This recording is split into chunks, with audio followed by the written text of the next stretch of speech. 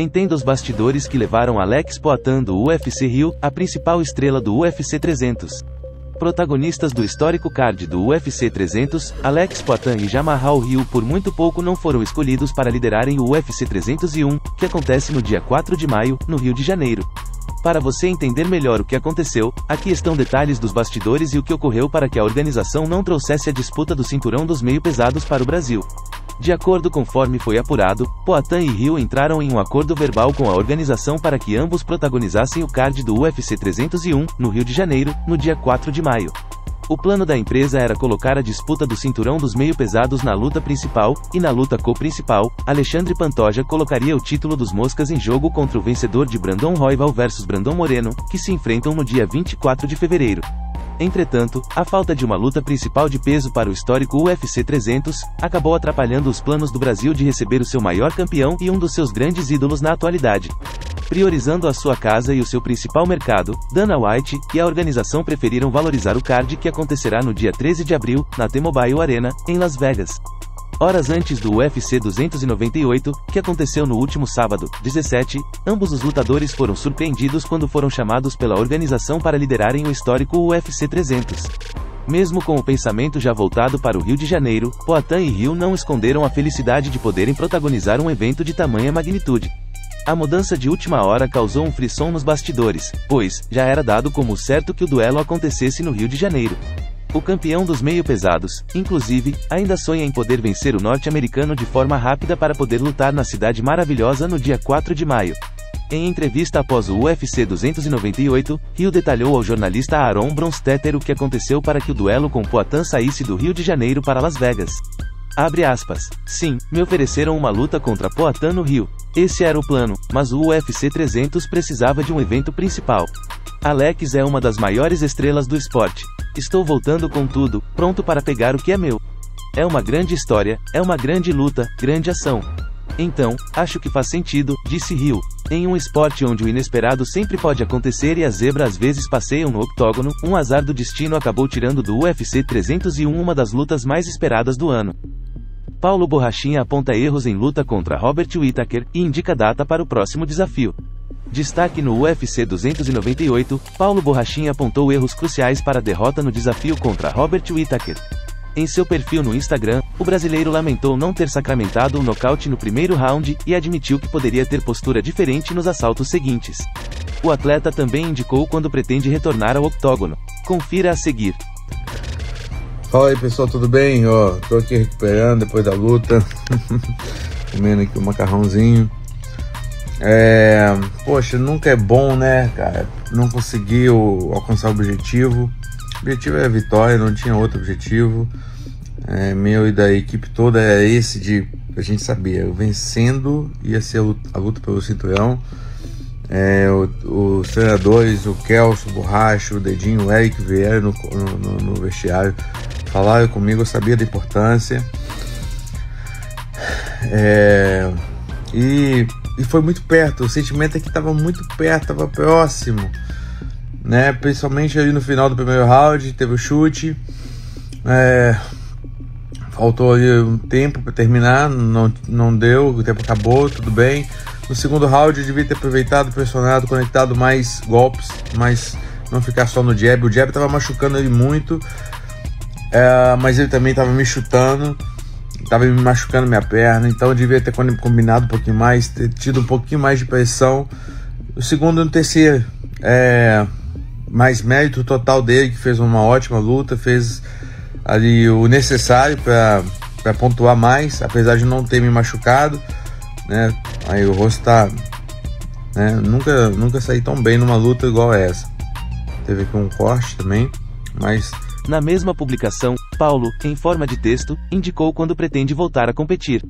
O desafio contra o Itaker marcou o retorno do mineiro à luta após mais de um ano de inatividade. Abre aspas. Após 18 meses de inatividade, meu ano apenas começou. Em dois meses, irei atuar novamente, com aperfeiçoamentos, irei com tudo, publicou. Reviravolta, Poatan surpreende e afirma que é capaz de se apresentar no Rio após o FC 300. Após quebrar expectativas de muitos fãs sobre possível defesa de título no Rio de Janeiro, Alex Poitin surpreendeu a todos ao se mostrar disposto em enfrentar Jamarral Hill em 13 de abril no UFC 300 e em seguida desembarcar na cidade maravilhosa para se apresentar novamente no UFC 301. Segundo o atleta, em seus tempos de kickboxing, atitudes como esta eram normais. Confira o trecho na sequência. Eu vim aqui falar a minha próxima luta, como vocês viram que o UFC já anunciou, né? então eu vim aqui para falar, né? quebrar esse, esse mistério. Bom, é, essa luta eu tava conversando, a gente estava conversando, né, para lutar no Brasil. Fala mais alto. A gente estava conversando, né, sobre essa luta, a minha próxima luta, né, com o Jamal no Brasil. É, tava meio que certo, mas, pô, viu uma grande oportunidade, né, o UFC ofereceu essa luta com o mesmo oponente, então não mudou, para mim não mudou muita coisa, né? Mudou as datas, é, que para mim foi, foi muito bom, para ser sincero, estou treinando muito bem. É, e agora dar continuidade nos treinos, né? E, pô, chegar bem para essa luta. E, pô, falar para vocês que eu estou muito feliz com essa luta. É, se tratando do, de uma edição né, especial, né, onde quem, quem tá nesse card sempre é lembrado e como tô fazendo um trabalho bem feito, né? E um UFC com, com esse número, né? O UFC 300, eu acho que é muito especial, todo mundo sabe disso, né? Então vai ser muito bom para mim. Eu, pô, sempre venho treinando, evoluindo, né? Para estar tá ali, dar um show para todos vocês. Eu tenho certeza que quem estava esperando, né? Essa luta, né? Ela vai acontecer e eu acho que todo mundo vai ficar satisfeito. Eu estou muito satisfeito, né, com esse casamento dessa luta contra o Jamal Hill. Vai ser uma luta dura, mas pô, eu estou muito bem, confiante, né? Claro, estou treinando muito bem para me dar essa confiança. E é isso aí, pessoal. É, como vocês viram, né? É, vai acontecer.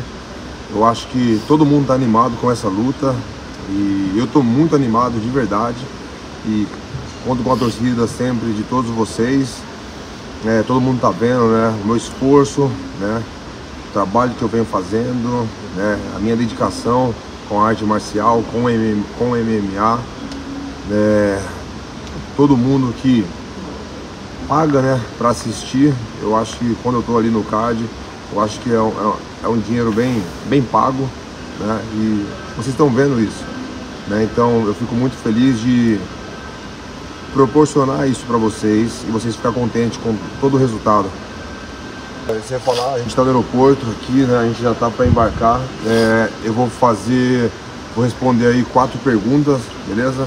Então vamos lá, caprichem aí, pessoal. Pota, aquela tua ideia de defender o cinturão duas vezes mais rápido possível é sobre o UFC Brasil ou prefere manter em silêncio?